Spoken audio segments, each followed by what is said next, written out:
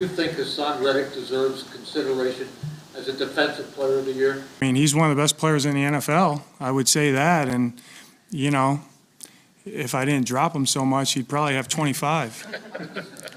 Is that a shot at us?